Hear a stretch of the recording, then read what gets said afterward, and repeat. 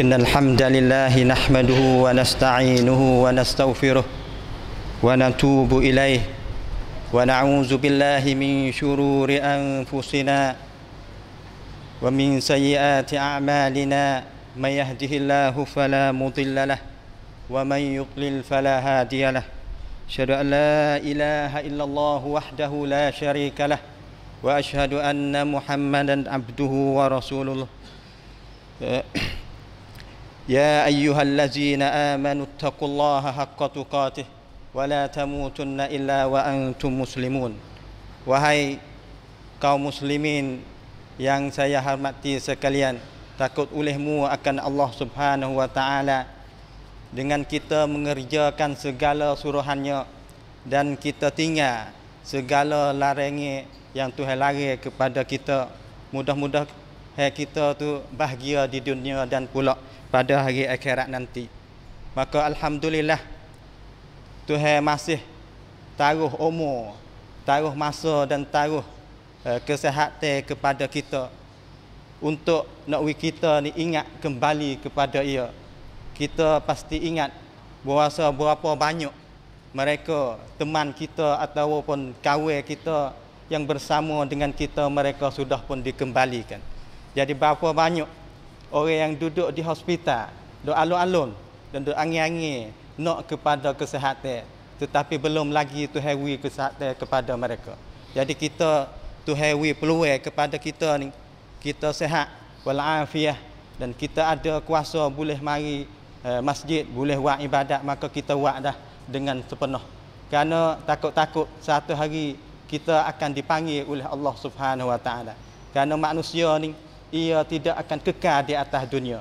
Tidak ada seorang pun kekal di atas dunia. Semua manusia akan kelak kembali kepada Allah Subhanahu Wa Taala. Jadi apabila kita kelak kembali kepada Allah, Tuhan pula akan bangkit kita sekali lagi selepas daripada kita mati dan kita akan akan pergi kepada pada mahsyar dan pergi kepada hari akhirat nanti insya-Allah. Dan saya teringat satu kisah yang menunjukkan untuk nak kita ni uh, tambah yakin dengan hari akhirat dan yakin dengan kebangkitan selepas daripada mati. Jadi Tuhan telah pun menghidup beberapa orang di atas dunia ni. Kita sudah pun tahu berapa orang yang Tuhan mati di atas dunia, lalu itu Tuhan menghidupkan mereka di atas dunia. Nak orang hak hidup ni tahu kata Tuhan kuasa nak menghidupkan orang yang sudah mati. Jadi untuk mari nak rat ataupun tolak Uh, bagaimana sebagaimana orang kafir kata zaman lazina kafaru an la yub'asu. Uh, orang kafir ni suka-suka kata ia tidak akan dibangkitkan. Apabila mati uh, iza mitna wa kunna turaba. Apabila kita ni mati wa kunna turaba dan sudah jadi turab, sudah jadi tanah. Iza kunna wa kun iza mitna wa kunna turaba dzalika raj'un ba'id. Itu merupakan benar yang jauh. Orang kafir tu tak boleh jadi. Tuhan nak pergi bangkit mula Uh, ini merupakan pegangan orang yang tidak beriman kepada Allah. Saya mahu membawa satu uh, kisah uh, yang kita kadang-kadang orang sudah pun tahu dan telah pun dengar dah. Kisah ni ialah ada satu orang yang namanya Uzair. Uh, sebenarnya orang Yahudi ni sangat-sangat angkat. Uh, Uzair ni katanya anak Tuhan. Jadi ada kelebihan apa yang Tuhan beri kepada Uzair. Jadi Uzair ni merupakan satu orang yang soleh dan ada juga yang kata ia merupakan nabi. Nabi ada banyak sampai 300 orang nabi. Jadi Uzair merupakan orang soleh ataupun nabi, ia telah dimati, telah dimatikan oleh Allah Subhanahu Wa Taala.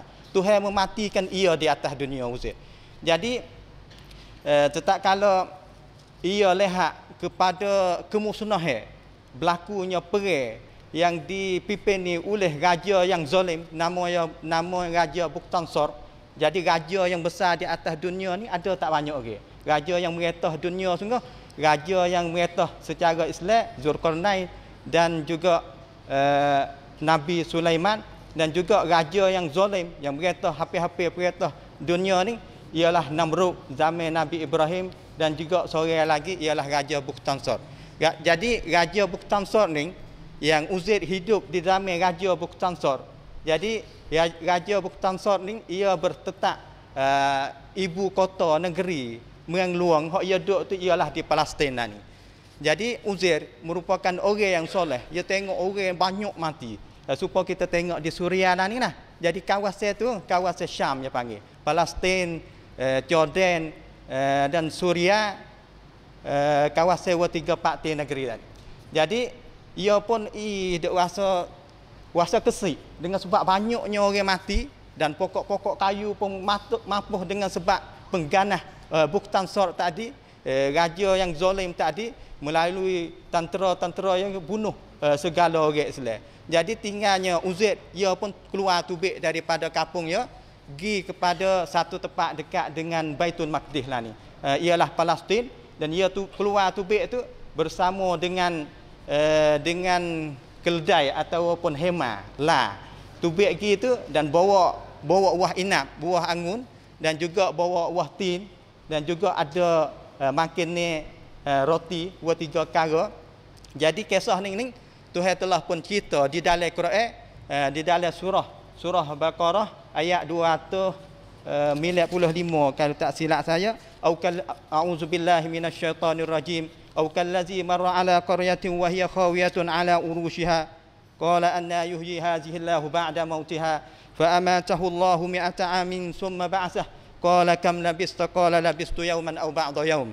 قال بل لبست مئة عام فانظر إلى طعامك وشرابك لم يتسنه. وانظر إلى حمارك ولنجعلك آية للناس. وانظر إلى العظام كيف ننشزها ثم نكسوها لهما falamma tabayyana lahu qala a'lamu anna Allah ala kulli syai'in qadir.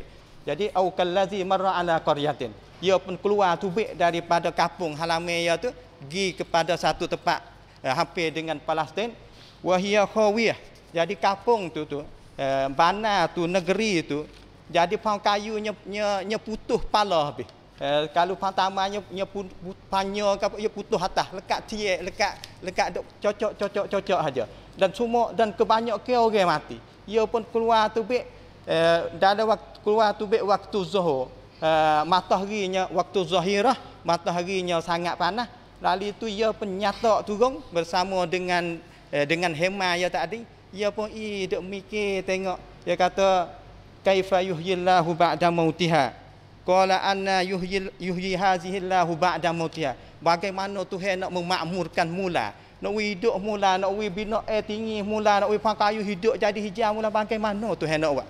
Ha, jadi ia bukan syak dengan kekuasaan Allah Subhanahu Wa Taala. Bahkan ia yakin, tetapi dengan musnah banyak supaya kita tengok Suria ni hancur habis, nyata dengan oleh orang Syiah dan orang Yahudi, Bagaimana Tuhan nak memakmurkan mula. Nak wi jadi supo dulu mula. Bang kayu nak wi subuh mula. Bagaimana Tuhan nak buat balah tu. Itu merupakan kekuasaan Allah. Jadi apabila ia fikir dah tu. Uzid fikir balah tu.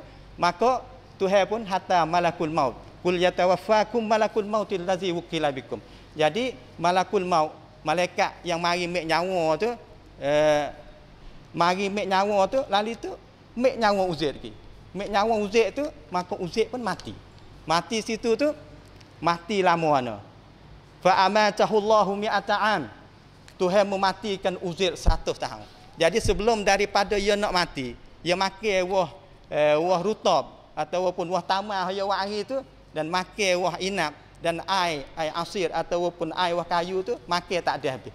Lalu itu mati dah tu, mati 100 tahun.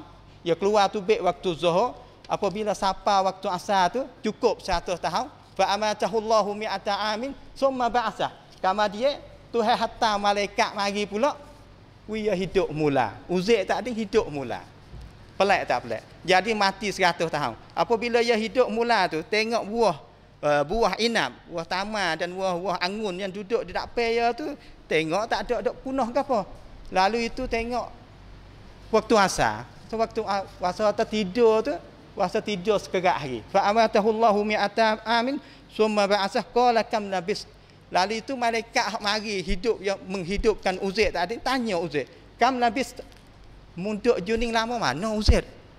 Tanya Uzair tadi. Qala labis tu yauman au ba'da yaum. Aku duduk juning ni yauman au ba'da yaum. Satu hari atau sekerat hari. Lalu itu malaikat atau Qala bal labista mi'ata amin fanzur ila ta'amika wa syarabika lam yatasannah. Jadi mung hidup juni 100 tahun Uzid. Uzik pun kejut 100 tahun malah mana. Uh, mari ke waktu Zuhur, kejut-kejut waktu Asar, dak pehel atas kerak hari ataupun sehari itu. Eh. Tetapi Tuhan jaga tubuh Uzik ni. Jadi hemai pun mampu dan wah kayu tu tak ada tak ada punah. Jadi kebiasaan wah kayu, wah angun kalau kita taruh luar tu jeng boleh dua hari, nya, nya punah berat dah. Wah tamar ke apa, lama pun jadi hapak ke apa. Tetapi Tuhan jaga wah kayu tadi. Lalu itu ia pun tanya Uzaid, malaikat tadi pun tanya Uzaid, "Mu nak tengok tak? Wanzur ila fanzur ila ta'amika wa, wa syarabika lam yatasannah wanzur ila himarika walinaj'alaka ayatan linnas." Jadi mana tak ada?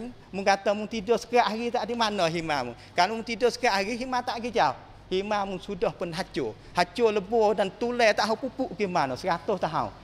Jadi eh, tak tahu ke mana tulai dan dan isi himar pun tak tahu ke mana. Lalu itu Tuhan pun eh, eh, melalui malaikat tak ada falamma tabayyana lahu qala a'lamu anna Allah ala kulli syai'in qadir. Maka uh, malaikat tak ada pun panggil panggil segala tulai yang hanyut kita tadi dan panggil segala isi maka mari takut so so so so so. Jadi himar ke mula. Lalu itu himar tu tiap uh, melaung naik langit untuk uh, menunjukkan uh, kekuasaan Allah. Uh, melaung naik langit tadi uzik pun kata qala a'lamu annallaha ala kulli syai'in qadir. Aku sudah pun yakin ini merupakan kekuasaan Allah. Jadi aku dak fikir kata bagaimana Tuhan nak menghidupkan uh, bina air nak hidup pakayuh mula ni Tuhan kuasa. Hak ni lebih payah daripada tu. Pakayuh gapo kita boleh tani kita kata eh, bina air orang ada duit boleh buat. Ni Tuhan menghidupkan sudah mati. Uzik ya dia tu sudah mati. Lalu itu ya nak tahu kata ya ni 100 tahun sungguh tak eh, mati ataupun tidur tepat tadi. Lalu itu ya pun kelik kepada kampung ya. Kelik kepada kampung ya ketika ia pergi keluar tu bek tadi tu ia tinggal satu orang khodeh ya. Khodeh tina umurnya 20 tahun.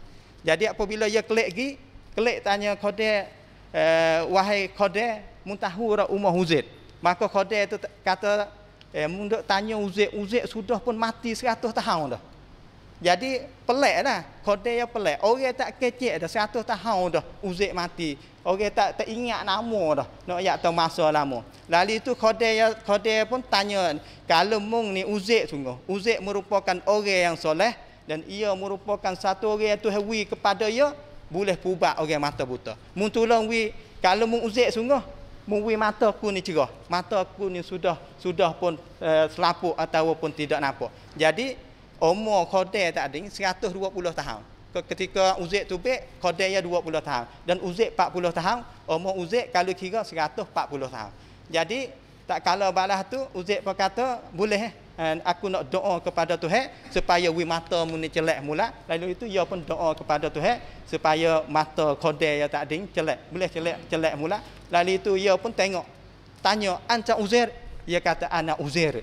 Uzair kata ya uzair aku ni telah telah dimatikan oleh Allah dan Tuhan wi kepada aku ni boleh hidup mula lalu itu kalau mu ni uzik sungguh mu, anak mu sudah pun ada, masih ada lagi. Aku nak bawa mu ni pergi jumpa dengan dengan anak mu. Lalu itu khodai yang pun tak ada bawa uzik eh, pergi jumpa dengan dengan anak ya maka anak ya pun tak care dan tak kenal juga lalu itu ia pun anak ya kata kepada uzik kalau ni uzik sungguh uh, uzik ayahku ni ada tanda di, di sebelah bahu katif uh, di, di di bahu ni. Maka uzik pun buka wi anak ya tengok. Lalu itu anak ya pun yakin kata ini merupakan ayah ya dan merupakan Uzaid yang yang disebut yang orang dok dok orang dok kata mati sudah pun mati 100 tahun. Dan waktu kepada orang ramai jadi zaman Uzaid ni selepas daripada Nabi Musa jadi orang pun tak ada percaya anak yang percaya dan dan khodai itu pun khodai percaya lalu tu orang orang ramai pun tak kepada Uzaid kata kalau mu ni Uzaid kalau Uzaid dulu tu ia ngapa ngapa kitab Taurat tu ingat satu buah. Jadi kalau mung ni uzik sungguh cuba mung baca kitab Taurat. Ha, baca di hadapan kami ni supaya kami ni dengar. Lalu itu tu hewi kepada uzik. Kitab Taurat kau tu telah pun hancur habis. Tak tak ada tak ada usaha asal dah. Lalu itu uzik boleh baca, ingat habis satu buah. Lalu itu orang Yahudi pun angkat uzik jadi waqalatil yahudu uzairun ibnullah. Orang Yahudi kata Uzair merupakan anak Tuhan. Wa qalatin nasaran masih ibnullah. Kadzalika qauluhum bi afwahihim. Itu merupakan perkataan eh, tuduh eh, yang mereka tuduh kepada Allah kerana orang Yahudi ini sangat-sangat sangat-sangat jahat tuduh kepada Tuhan. Seperti mana orang Yahudi ni duk janji dengan Tuhan dia kata apabila marinya nabi yang nak nak beriman falamma ja'ahum ma'rafu kafaru bi tak kalau marinya nabi Muhammad kufur dengan nabi Muhammad. Janji itu uh, merupakan perjanjian orang Yahudi seperti mana dia tuduh kepada Uzair kata anak Tuhan. Dan fak ni ni Tuhan kata masaluhu kama salil kab. Fak ni ni serupa dengan anjing. Tuhan kata dia ni bukan saya kata intahmil huyal has wa intatruk huyal has. Kalau mung hanying kalau kita hakik yang nak jelai jelai jelai jelai apa?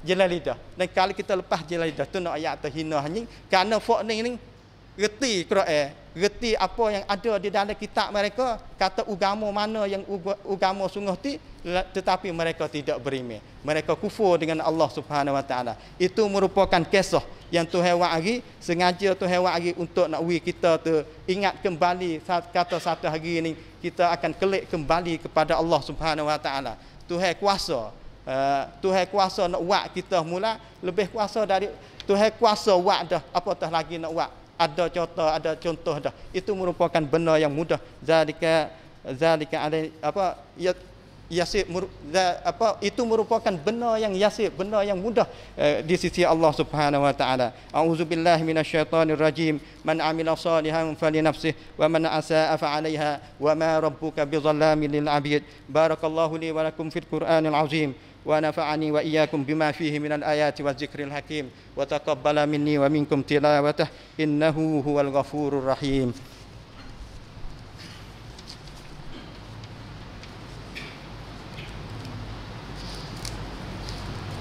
Alhamdulillahi Rabbil Alamin. العالمين والعاقبة للمتقين ولا عدوان إلا على takut kita kepada Allah Subhanahu wa taala. Kita sudah pun dengar kisah yang Tuhan wa'ri itu merupakan kisah yang Tuhan wa'ri di secaranya mutawatir. Tidak ada orang mari nak uh, boleh mari nak nak tek ataupun nak tiang lagi. Kerana Quran ini itu merupakan mutawatir. Uh, kisah yang sebenar uh, yang tidak dia kuasa mari nak tipu Quran banyak manusia yang yang mari nak buat nak buat wisupa dengan Quran tetapi mereka tidak kuasa nak buat supa dengan Quran. Jadi untuk kita ingat kembali kepada kita bahawa kita satu hari akan akan kelik kepada Allah Subhanahu Wa Taala. Kullu nafsin za'iqatul maut. Tiap-tiap uh, barang yang nyawa ni akan mencapai mati. Jadi sebelum daripada kita nak kelik ni, kita kena buat persiapan. Nak pergi Mekah kita buat persiapan bulan-bulan. Apatah lagi kita nak hidup uh, sepanjang masa uh, nak hidup nak kelik tak boleh dah. Kalau pergi Mekah terosak kelik orang rumah ni boleh kalau lupa-lupa barang. Jadi apabila kita pergi akhirat ni kita tidak ada kuasa dah nak kelik. Uh, jadi walaupun kita tu minta sujud tiak cara mana pun walau tara izil mujrimuna nakisuru usihim inda rabbihim rabbana Rabbana absarna wa sami'na farji'na na'mal salihah. Jadi orang hak pergi dah tu dok sujud dok minta kepada Tuhan al-mujrim orang yang jahat tu dok minta kepada Tuhan nak kelik mula. Nak kelik nak buat amalan yang baik mula. Kerana aku dulu tidak buat amalan yang baik. Aku berlengah-lengah duk tahu mana dulu. Jadi kelik gitu dah uh, maka minta kelik mula. Qala rabbirji'un la'alli a'malu amalan salihan fi ma tarak minta kepada Tuhan Rabbi wahai Tuhan wahai Tuhan wahai Tuhan kami irji'un. Hatalah aku ni kelik kembali dunia mula aku nak buat amalan. Tapi itu merupakan benda yang yang tak boleh jadi dah kerana hidup kali sore. Maka kita kita ada masa dan ada peluang lagi ni. Ya ayyuhallazina amanu taqullaha wal tanzur nafsum ma qaddamat ligad wahai orang yang beriman wal tanzur kamu ni kena tilik tengok kena wang pen molek. Gopo hak nak bawa pergi pada hari akhirat isa wal tanzur nafsum ma qaddamat ligad wattaqullah. Dan hendaklah kamu ni takut kepada Allah Subhanahu wa taala. Nabi kata al kayyisu man dana nafsahu wa amila lima ba'dan maut. Orang yang bijak, orang yang cerdik ni mandana nafsahu, sentiasa menghampiri diri kepada Allah, sentiasa uh, usaha, sentiasa wa persiapan untuk nak jumpa Allah Subhanahu Wa Taala. Wa amila lima ba'dan maut. Dan kerja uh, benar yang selepas daripada mati. Bukan kata kita nak tinggal dunia, wala tansa nasibaka minad dunya. Wabtaghi fi ma atakallahu daral akhirah. Mung tutup cari akhirat wala tansa nasibaka minad dunya. Dan jangan mung tu lupa nak sik dunia. Dunia kita nak cari kalau kita panas tu ya jadi akhirat ke tapi kalau kita tak panas tu jadi ni dunia ni akhirat. Kita usaha jadi akhirat ke insyaallah subhanahu wa taala. Kerana kita ni Tuhan kata faman kana yarju liqa rabbih pia yang nak jumpa dengan Tuhan. Pia yang nak masuk syurga. Falyamal amalan soleh maka hendaklah ia tu buat amalan yang soleh. Uh, wala yusyrik bi ibadati rabbih ahada. Maka mudah-mudahan kita ni semua ni uh, tidak sesal lah kalau kita pun kita kalau Tuhan panggil lah ni pun kita tidak sesal insya-Allah. Kita pergi jumpa dengan hal keadaan. Kita tu gembira insya-Allah. Maka wahai kaum muslimin uh, semua banyakkanlah kita solawat ke atas nabi man salla alayya salatan sallallahu alaihi asyara salawat pia yang solawat atas nabi sekali maka Tuhan selawat kepadanya puluh kali. Allahumma salli ala Muhammad wa ala ali Muhammad kama sallaita ala Ibrahim wa ala wa ala ali Ibrahim innaka Hamidum Majid. Inna Allah wa malaikatahu yusalluna ala nabi ya ayyuhallazina amanu sallu alaihi wa sallimu taslima. اللهم اغفر للمسلمين والمسلمات والمؤمنين والمؤمنات الأحياء منهم والأموات إنك سميع قريب مجيب الدعوات وقاضي الحاجات اللهم انصر المسلمين والمسلمات اللهم انصر المستضعفين في كل مكان اللهم انصر المسلمين في فلسطين وفي العراق وفي سوريا وفي اليمن وفي أركان وفي كل مكان. اللهم لا تدع لنا ذنبا إلا غفرته ولا هما إلا فرجته ولا دينا إلا قضيته ولا حاجة من حوائج الدنيا إلا ولا حاجة من حوائج الدنيا والآخرة إلا قضيتها ويسرتها يا أرحم الراحمين. ربنا آتنا في الدنيا حسنة وفي الآخرة حسنة وقنا عذاب النار. سبحانك اللهم وتحيتهم فيها سلام وآخر دعواهم أن الحمد لله رب العالمين. أقيموا الصلاة.